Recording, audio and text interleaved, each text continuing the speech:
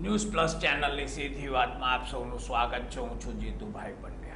આજે ફરી એક રવિવાર છે. અને આજે છે એક નાનકડી કથા કહેવાનો, નાનકડી એક વાર્તા કહેવાનો. એક નાનકડો કસ્બો હતો. પચીસ ત્રીસ હજારની વસ્તી. પણ સમૃદ્ધ ગામ.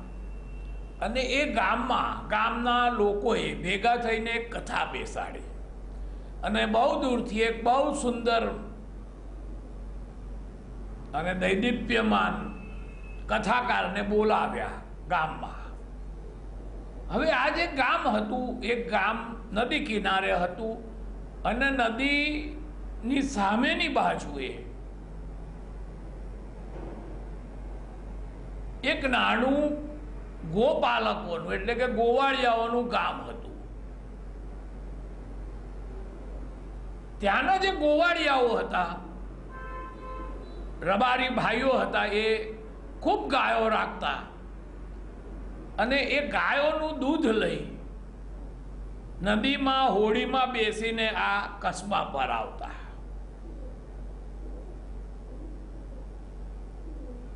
હવે આ કથા બેઠી છે ગામમાં. નદી કિનારે જ કથા છે. અને આ ગોવાળિયા તો બાપડા સાવ અભણ છે. હોડીમાંથી એમના દૂધના બોઘેણા ઉતારી રહ્યા છે. એમને ઉતાવળ છે. એમણે તો બહુ ઝડપથી ગામમાં બધાને દૂધ પહોંચાડવાનું છે. દસ બાર ગોવાળિયા છે. અને એમને કાને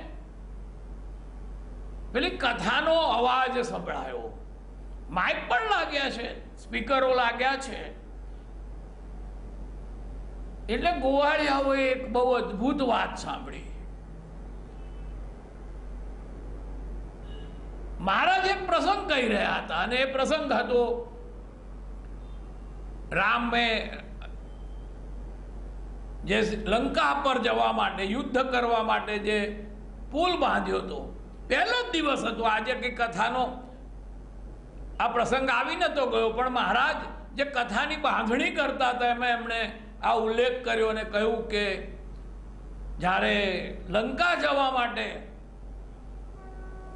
ભગવાનને સમુદ્રએ કહ્યું કે તમે મારી પર પુલ બાંધો, નળ, નીલની પાસે એ કળા છે, પથ્થરો તરશે અને નળ નીલ પથ્થર ઉપર રામ લખતા. અને એ પથ્થરો વાનરો લઈ જતા. મોટી મોટી શિલાઓ પણ લઈ જતા. અને સમુદ્રમાં નાખતા તો એકબીજા સાથે જોડાઈ જતી ને તરતી રહેતી હતી. એટલે મહારાજે બહુ જ ભાવ વિભોર અવાજમાં કહ્યું કે રામ નામના લખેલા પથ્થર તરે. તો આપણે રામ નામ કહીને, રામ નામ લઈને આ ભવસાગર કેમ ન તરી શકીએ? આપણે પણ રામ નામનો સહારો લઈએ તો આ ભવસાગર પાર કરી જઈએ. અવાજમાં ખૂબ આદ્રતા હતી, ખૂબ લાગણી હતી. ભરવાડો એકબીજા સામે જોતા રહ્યા, સાંભળતા રહ્યા. પણ પછી ઉતાવળ હતી, આટલી જ વાત કાને પડી છે? બધા દોડતા દોડતા પોતપોતાના મોહલ્લામાં દૂધ આપવા પહોંચી ગયા. બધા દૂધ આપીને સાંજે પાછા નદી કિનારે આવ્યા. અને ભગવાનનું કરવું કે ફરી કંઈક મહારાજ આ રામ નામની જ વાત કરતા હતા કે રામ નામમાં એટલી તાકાત છે કે એનું નામ લેવાથી આપણે ભવસાગર તરી જઈએ. હવે આ દસ પંદર જે ભરવાડો હતા એ સાંજ પડી ગઈ છે, અંધારું થવા આવ્યું છે, નદી કિનારે આવ્યા છે, હજુ હોડી છે, એ સામે પાર છે, એમની રાહ જુએ છે. એટલામાં એક થોડાક વૃદ્ધ ભરવાડે કહ્યું કે આટલા મહાન મહા મહારાજ આવ્યા છે, બ્રાહ્મણ આવ્યો છે કથા કરી રહ્યા છે મહારાજશ્રી અને કહી રહ્યા છે કે રામ નામે ભવસાગર તરી જવાય, રામ નામ લેવાથી. તો આપણાથી એક નદી ના તરી જવાય. ચાલો કે એકબીજાનો હાથ પકડો ને રામ રામ રામ કરતા આપણે નદી તરીને સામે જતા રહીએ. આ રોજ જવાના ચારાના, આવવાના ચારાના આપણે બાર ચૌદ જણા છીએ. કેટલા બધા રૂપિયા આપણે વાપ, ખર્ચીએ છીએ નદીમાંથી આવવા જવાના. ચાલો એકબીજાનો હાથ પકડો. આ તો બધા ભોળા ભટાક હતા. એમને ભવસાગર શું ને નદી શું ને રામ શું ને તરવું શું? કોઈ મનમાં વાત નથી. વાત એટલી જ હતી કે એક મહાન કથાકાર કહી રહ્યો છે કે રામનું નામ લેવાથી ભવસાગર તરી જવાય, સાગર તરી જવાય. તો પછી આટલી નદી તો તરાવી જ જોઈએ. એક બામણ જુઠ્ઠું શું કરવા બોલે? એટલે આ ભરવાડોએ તો દોઘેણા માથે મૂક્યા, એકબીજાના હાથ પકડ્યા અને હે રામ રામ રામ કરીને નદી પર ચાલવા માંડ્યા. અને અદ્ભુત વાત થઈ. કોઈ જોનારું તો હતું નહીં, પણ આ પંદરે ભરવાડ નદી તરીને સામે પાર પહોંચી ગયા. બધા એકબીજાને ભેટ્યા. બહુ ખુશ થયા છે. કારણ બીજું કશું જ નથી. કોઈ રિદ્ધિ સિદ્ધિની વાત નથી. એ પંદર જણાના ચાર આના બચી ગયા છે. અને રોજ જતા આવતાના ચાર આના પંદર જણના બચી જાય એક જ કુટુંબના ભરવાડો છે. બહુ ખુશ થઈ ગયા, ઘેર જઈને પણ ગુલાટિયા ખાધા, આનંદ આનંદ થઈ ગયો. એમના પત્નીઓને વાત કરી, એમના કુટુંબમાં વાત કરી, બધા ખુશ થઈ ગયા. પત્નીઓએ કીધું કે તમે કરી શકો તો અમે ના કરી શકીએ, તો પત્નીઓ બી હાથ પકડીને રામ રામ કરતી નદીમાં અડધો કિલોમીટર, બે કિલોમીટર ફરી આવી. આખું ભરવાડવાસમાં આનંદ આનંદ થઈ ગયો. બીજે દિવસે સવારે તો દૂધના આવતી વખતે તો ખાલી દોરણા હતા.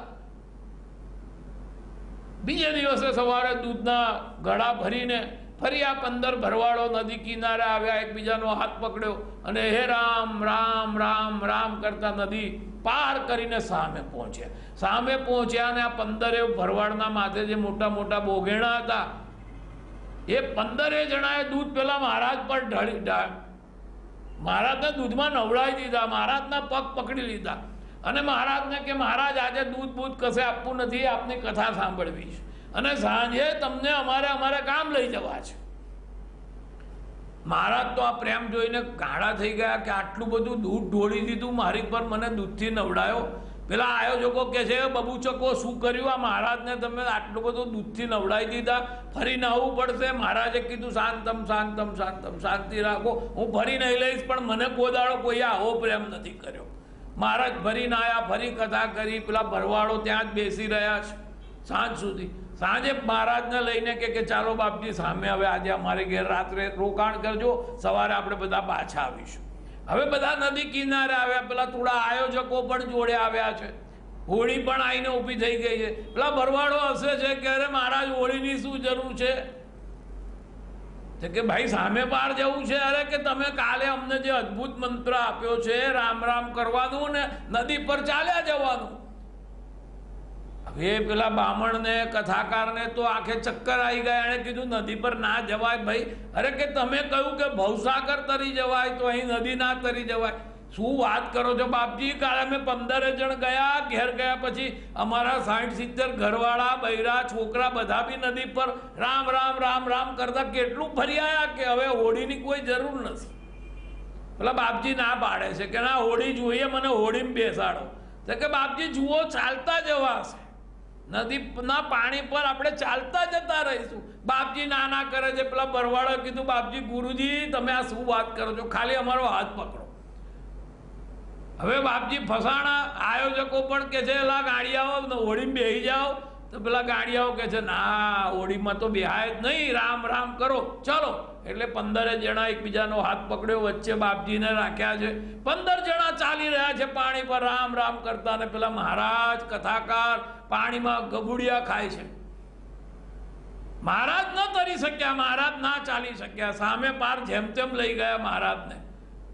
ગામમાં લોકો પણ આશ્ચર્ય પામી ગયા કે પંદર અબૂધ બેવકૂફ, મૂર્ખ કશું નહીં ભણેલા, આ ભરવાડો પાણી પર ચાલ્યા ને મહારાજ ડૂબ્યા પેલા. ગામવાળાને થયું કે આપણે પણ પ્રયાસ કરીએ. ડૂબાશે, તરાશે કરતા બધા કહ્યો, પણ બધા પાણીમાં અંદર બેસવા માંડ્યા. કોઈથી ચલાવ્યું નહીં. પેલા પંદર ભરવાડો ચાલતા ત્યાં જતા રહ્યા. કથા અહીં પૂરી થાય છે. નાનકડી કથા છે. થોડી આગળ પણ વધારે એવી છે કે મહારાજે થઈ જઈને શું કહ્યું ને શું ના કહ્યું ને? મહારાજ એમના પગે પડી ગયા ભરવાડોના કે તમે ખરા ભક્તો છો ભગવાનના. તમારી શ્રદ્ધા અવિચળ છે. મારી મને મારી કથામાં શ્રદ્ધા નથી. મને મારી વાત પર શ્રદ્ધા નથી. મને શાસ્ત્રો પર શ્રદ્ધા નથી. મને ભગવાનની વાત પર શ્રદ્ધા નથી. પણ તમારી જે મારી કહેવાની વાત પર શ્રદ્ધા હતી એ અદ્ભુત છે. તમે મારા કરતા મહાન થઈ ગયા. પેલા બ્રાહ્મણે પેલા ભરવાડોના પગ ધોયા. ભરવાડો નાના કહે છે કે, બાપજી, કશું નથી. આ તમારે લીધે અમારે આ તો પૈસા બચ્યા. બીજું કઈ નદી પર ચાલવામાં મહાનતા કશી છે નહીં. વાત આટલી છે. વાત એ નથી કે આપણે કોને ગુરુ માનીએ છીએ. વાત એ નથી કે આપણા ગુરુમાં શું શક્તિ છે. વાત એ નથી કે આપણા શિક્ષકમાં શું આવડત છે. વાત એટલી જ છે કે આપણને આપણા ગુરુમાં આપણી આપણે સાંભળેલી વાતમાં કેટલી શ્રદ્ધા છે. આપણે દરેક વસ્તુને સંશયથી જોઈએ છે. આમ હશે કે નહીં, આમ હતું કે નહીં, આમ થતું થતું હશે કે કેમ? રામ થયેલા કે કેમ? હનુમાનજી પહાડ લઈને ઉડેલા કે નહીં? ભરતે બેઠા બેઠા એક દર્ભની સળી તોડીને હનુમાનજીને મારી, આવડા મોટા હનુમાનજી જે પહાડ લઈને જતા હતા, એ દર્ભની સળીથી એમનો પગ ભાગ્યો અને નીચે પહાડ લઈને પડ્યા. અને પછી ભરતે એમને કીધું કે, ભાઈ, તમે મારા ભાઈને મદદ કરવા જાઓ છો, મારી ભૂલ થઈ ગઈ, હું સમજ્યો કે કોઈ રાક્ષસ છો, તમે રામને મારી નાખશો, માટે મેં તને આ કર્યું, ભાઈ, હનુમાન. પણ તું હવે તે કહે, હું પહોંચું કેવી રીતે? લક્ષ્મણજી સાંજ પડે તો અવસાન પામી જશે. ભરતે કીધું કે તમે આ દર્ભની સળી પર બેસ જાઓ અને હું તમને લંકા મોકલી દઉં છું. રામેશ્વર મોકલી દઉં છું અને ભરતે મોકલે. હવે આપણે કહીએ આવું કેવી રીતે થાય? આ વાત શ્રદ્ધાની છે. આપણામાં અશ્રદ્ધા એટલી બધી ભરી છે કે આપણને દરેક આ અસ- અસમાન વાત, અસાધારણ વાતો તો આપણે માનતા નથી. પણ સાધારણ વાતો પણ આપણે માનવા તૈયાર તમે કોઈની સારી વાત કહો, તમે કહો જીતુભાઈ બહુ સારા માણસ છો, તો સામેવાળો તરત કહેશે કે પુરાવા લાવો. તમે કહેશો, જીતુભાઈ બહુ બહાદુર છે. તો કે, જવા દો જવા દો, મેં તો એમને સાવ એમને ફાટી ગયેલી, એમની આ વખતે આમ થઈ ગયેલી, હું ત્યાં હાજર હાજર હતો. તમે કહો, રમેશભાઈ બહુ દાનેશ્વરી છે. તો કે, જવા દો, રમેશભાઈએ કેવી લૂંટો ચલાવી છે તમને ખબર નથી. હવે એ દાનેશ્વરી થવા ફરે છે. આપણે કોઈ પણ માણસની સારી વાત માટે પુરાવા માગીએ છીએ. અને તમે કહો છો કે આ ફલાણા બેન છે મંદાબેન છે ચંદાબેન છે રંભાબેન છે, એમનું ચરિત્ર સારું નથી. તો તરત જ બધા કહેશે તો અમને ખબર જ હતી કે રંભા છે જ એવી, ચંદા છે જ એવી, મંદા છે જ એવી. કોઈના વિશે ખરાબ કેવું છે તો બધાને એ સ્વીકાર્ય છે કોઈ પુરાવા નથી માગતું. કોઈ તમને એમ નથી કહેતું કે આ બેન વિશે કે આ ભાઈ વિશે તમે ગંદુ કહો છો, એના પુરાવા લાવો. પણ તમે સારું કહો. તો તરત જ બધા કહેશે કે હું તો એ જાણ તમે નથી જાણતા, મને ખબર છે કે ભાઈ આ તમે માનો છો એવા સારા નથી. આપણને કશામાં શ્રદ્ધા નથી. અને અશ્રદ્ધાને કારણે આપણે જિંદગીમાં બહુ પ્રશ્નો ઊભા કરીએ છીએ બહુ હેરાન થઈએ છીએ જે શ્રદ્ધાવાન છે, જેને નાનકડી વાત પર પણ શ્રદ્ધા બેસે છે ઘણા કહે છે કે પાણીમાં ફૂંક મારવાથી દવા થઈ જાય, એ સાજા થઈ જવાય. હા, જે લોકો શ્રદ્ધાવાન છે, એ પાણીમાં ફૂંક મારેલું પાણી પીને પણ સાજા થઈ શકે. વડોદરામાં એક વૈદ હતા, સારાભાઈ વૈદ. પ્રતાપનગર સિંધવાઈ રોડ પર એમનું દવાખાનું છે. તો એમને હું દાદા કહેતો, મને બહુ જ અતિશય એમના પર શ્રદ્ધા હતી. હું કહેતો કે જ્યાં સુધી સારાભાઈ વૈદ્ય જીવે છે, ત્યાં સુધી હું કોઈ કોઈ રોગથી મરીશ નહીં. ચાહે તમે મને એમ કહી દો કે, જીતુભાઈ, છેલ્લા સ્ટેજનું કેન્સર છે અને હવે તમે નહીં જીવી શકો. મને શ્રદ્ધા હતી કે સારાભાઈ મને મીઠું પણ આપશે તો હું સાજો થઈ જઈશ. સવાલ એ નહોતો કે સારાભાઈ કેટલા મોટા વૈદ્ય હતા. ખૂબ મોટા વૈદ્ય હતા. સવાલ હતો મારી શ્રદ્ધાનો. મને શ્રદ્ધા હતી કે સારા ભાઈ છે, ત્યાં સુધી હું નહીં મરું. જ્યારે એમનું અવસાન થયું, મને એમ થયું કે હવે મારી જિંદગીનો કોઈ ભરોસો નથી. સવાલ મારી શ્રદ્ધાનો છે.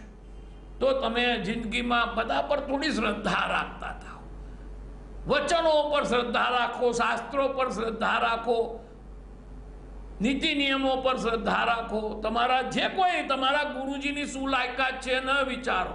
તમારી ગુરુજી પ્રત્યે શું શ્રદ્ધા છે, એનું પરિણામ આવતું હોય છે. તમે આ કથામાં જોયું કે એ બ્રાહ્મણ એ કથાકાર ન તરી શક્યો, નદીમાં ડૂબકા ખાવા માંડ્યો. એની વાત પર શ્રદ્ધા રાખનારાઓ તરી ગયા.